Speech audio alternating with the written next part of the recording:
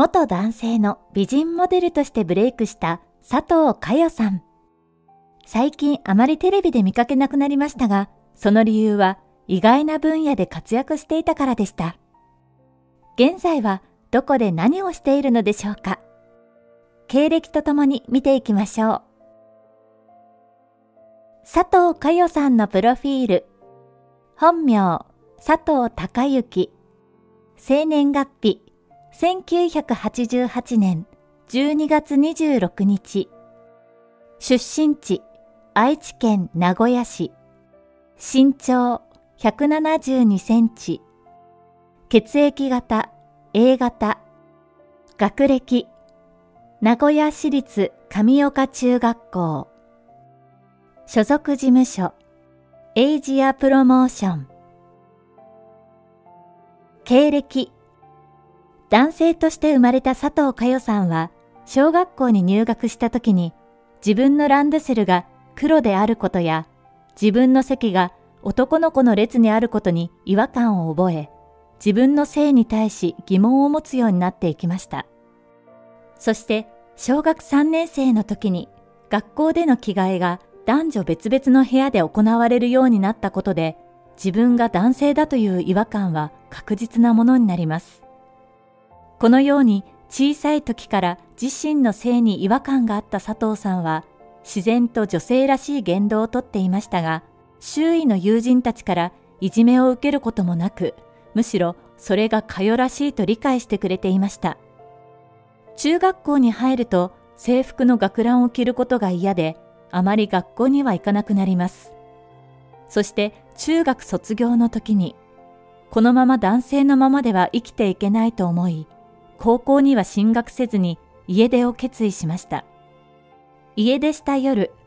幼馴染の女の子の家に女性用の服を借りに行った佐藤さんですが、その幼馴染は佐藤さんの気持ちを理解し、何も言わずに洋服を貸してくれたそうです。それから3ヶ月もの間、佐藤さんは女友達の家を転々とし、メイクグッズや洋服を見に行くなど、普通の女の子としての生活を送りました。この期間でありのままの自分でいる居心地よさを知り、もうこれからは男性として生活できないと悟ったそうです。家出中母親は捜索願いを出し探し回っていたそうで、佐藤さんが戻ってきた時には、好きな服を着ていいから二度と家出はしないでと泣きながら思いを伝えます。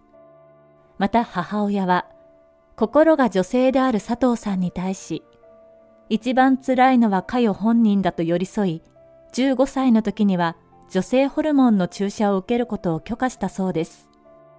以降、コンビニなどでのアルバイト期間を経て、18歳の時に知人の紹介で、念願だった女性アパレルショップの店員になりました。そこで女性の格好をして働いていた佐藤さんを見た雑誌社からスカウトされ、モデル事務所に所属することになったそうです。そして2008年頃から地元名古屋のファッション雑誌、東海スパイガールの専属モデルに抜擢され、モデルデビューを果たします。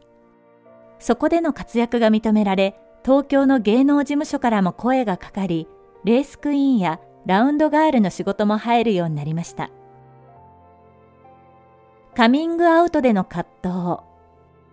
佐藤さんは2010年バラエティ番組魔女たちの22時で男性であることをカミングアウトしました。世間へカミングアウトするまでにはこんな話があったようです。当時、事務所には女性として所属し、モデルとして活動していましたが、社長に佐藤佳代は男性であると告発するメールが届き始めます。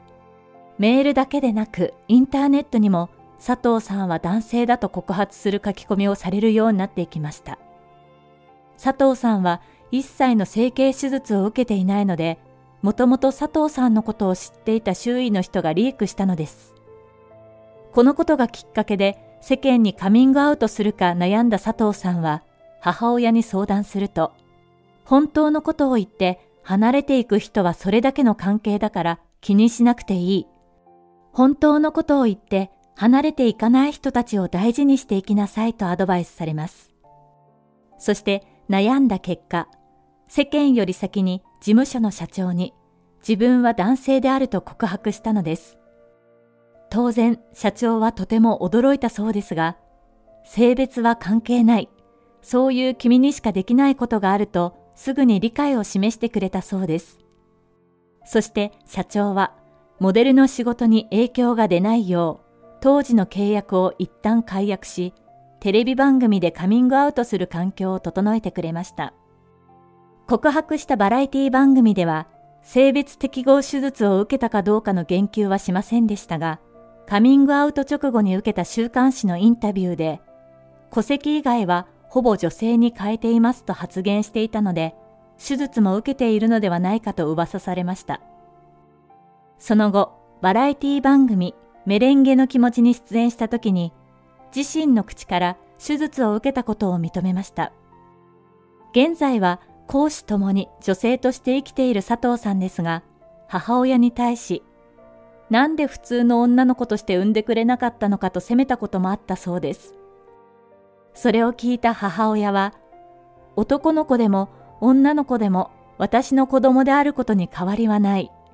ただそばにいてくれればいいと言って受け入れてくれたそうです。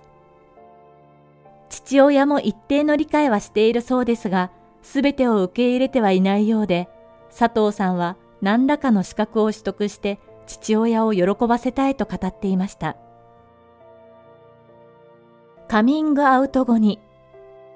2011年に初めてのフォトブック、リボン内でセミヌードを披露し話題になりました。以降モデルとしてブレイクします。東京ガールズコレクションやガールズアワードにも複数回出場し、ランウェイを歩きました。2015年には坂上忍さんが脚本と演出を手掛ける舞台、ある、致し方ない罪に対するやるせない復讐の始まりで主演に抜擢され女優デビューを果たしました。七尾さんとの関係佐藤さんは幼稚園の時に名古屋から埼玉県に引っ越しました。その幼稚園のクラスメートに七尾さんがいて仲良くなったそうです。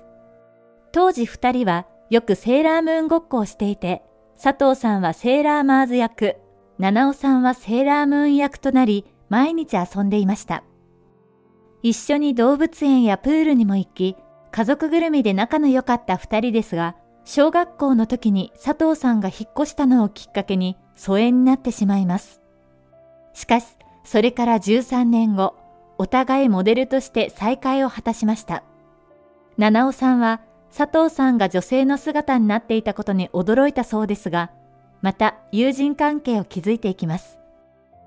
現在も佐藤さんは七尾さんの実家によく遊びに行っているそうで、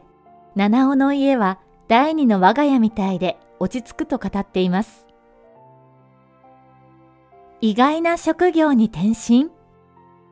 佐藤さんは現在、モデルではなく、主にゲーマーとして活動しているため、ほとんどテレビで見かけることがなくなってしまいました。プロ並みのゲームの実力を持っている佐藤さんは、世界大会にも出場しているほどです。カイオポリスの名前で韓国でも活動していて、ゲーム関連のイベントや e スポーツイベントに呼ばれることも多く、人気を得ています。佐藤さんが男性であることをカミングアウトした当時、まだ韓国では LGBT を公表するのはタブーであったことから、佐藤さんの告白に称賛の声が集まったそうです。また、韓国でもモデルとしてウェブ雑誌で活躍しているほか、洋服のブランドのモデルも務めています。可愛い顔立ちと抜群のスタイルでブレイクした佐藤佳代さん。当時カミングアウトすることにはものすごく勇気がいることだったと思います。現在は新たな分野で活躍しているみたいですね。これからも多方面で活躍してほしいです。あなたはどう思いましたでしょうか？自分らしく輝いてほしいと思った方は高評価をお願いします。また、この件に関してコメント欄で皆さんで一緒に話し合いましょう。